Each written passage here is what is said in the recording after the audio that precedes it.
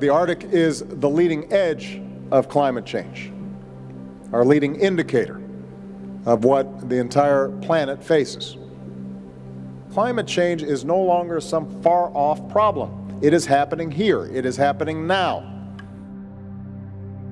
On the edge of the continent, flanked by the tundra and the Arctic Ocean, lies the northernmost city in the country, Barrow, Alaska, an American city 330 miles above the Arctic Circle and at the epicenter of climate change.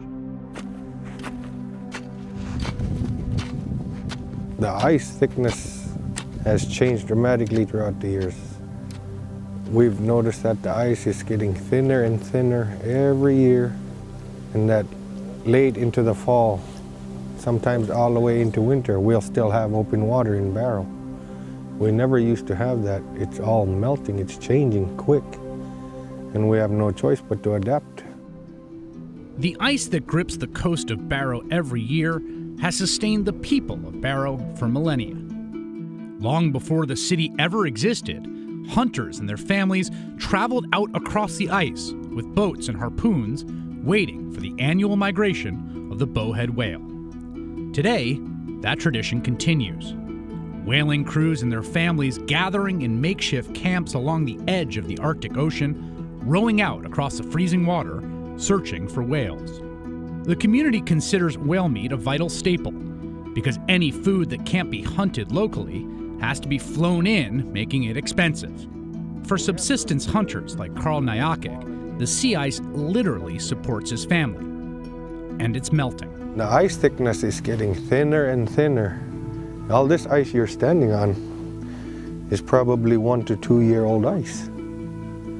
When back then it should be at least maybe 10 to 20 year old ice. We're always trying to figure out how, where are we going to pull up a whale if we catch a whale. Because the ice nowadays can barely support anything anymore. And the sea ice isn't just thinning, it's shrinking. 20, 25 years ago, you would travel at least 10, 10 to 20 miles out on the sea ice to reach the open water. And that's where we used to hunt bowhead whales all the time. Now, we, we barely come out a mile now. One of the reasons the sea ice is disappearing around Barrow can be detected in the air over Barrow. Just inland from the whaling camps themselves, the NOAA Observatory measures levels of carbon dioxide and other greenhouse gases in the atmosphere. The atmosphere doesn't know any boundaries. Some of the pollutants that we emit have a long lifetime and may end up reaching faraway places like, like Barrow. Gabby Petron is one of the scientists studying the air samples collected in Barrow. What the data reveals is terrifying. We are now experiencing the most abrupt change in CO2 in the Earth's history. How fast we are changing the abundance of greenhouse gases in the atmosphere is unprecedented. It's really um, something that has not been seen in the natural world uh, ever before. What is happening in Barrow is happening around the globe, and it's happening fast. So the rate of increase of CO2 at the moment is higher than it has ever been. And also higher than it has ever been in the last 800,000 years. The rate of increase is the highest and also the level is the highest ever. According to NOAA Chief Scientist Pieter Tans, the unprecedented increase in carbon dioxide is heating the Earth and having a massive effect on the Arctic. In the Arctic, the warming is stronger than anywhere else, which contributes to the disappearance of drifting sea ice. So the sea ice coverage is less and the ice is thinner, which has consequences for everything. In Barrow, those consequences are immediate and unavoidable. Climate change is a big topic across the world, and uh, we are right on the edge of it. We're seeing our waters temperatures warming slightly, seeing less ice in our oceans, thick, thinner ice. We're seeing coastal erosion as a result of not as much ice being a buffer for uh, wave action.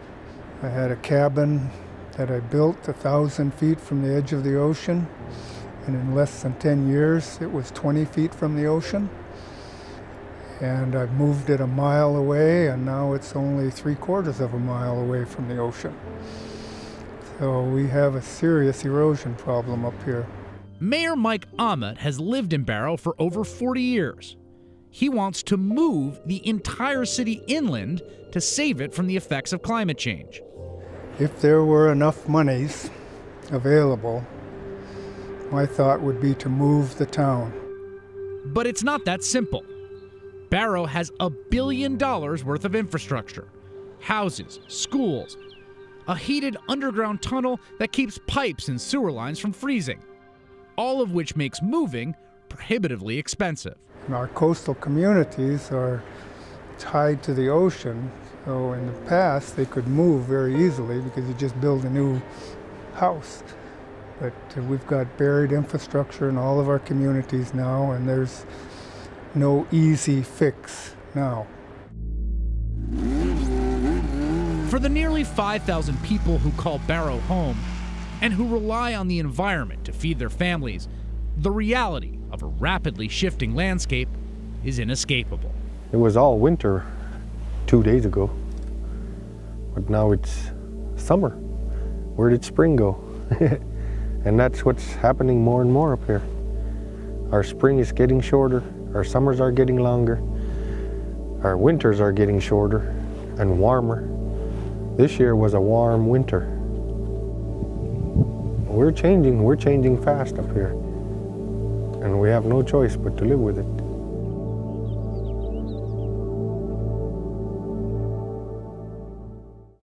Hey there, I'm Chris Hayes from MSNBC. Thanks for watching MSNBC on YouTube. If you want to keep up to date with the videos we're putting out, you can click subscribe just below me or click over on this list to see lots of other great videos.